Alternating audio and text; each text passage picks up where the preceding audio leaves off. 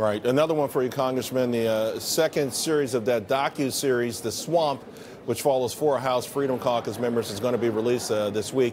Can you tell us about this, uh, the latest episode? Well, the latest episode uh, talks about one of the swampiest things that's happened around here, Charles, in the last six months, and that's the omnibus bill, you know, the 2,300 page bill that was given to us uh, uh, on Wednesday night, and we voted on it Thursday at uh, noon. We had seven hours to read it. It's the equivalent of two Bibles. No one read it, and uh, it's the second largest increase in discretionary spending uh, in history. Uh, and I was not only a no vote, I was a hell no vote.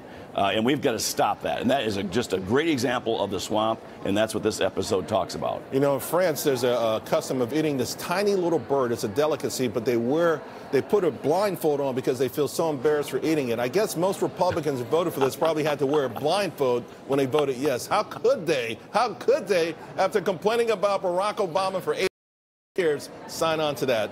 I can't wait for that episode, and thank you very much for your kind words and for appearing on the show this morning, sir. Thanks, Charles, and I'm going to borrow your blindfold line if you don't mind. you got it.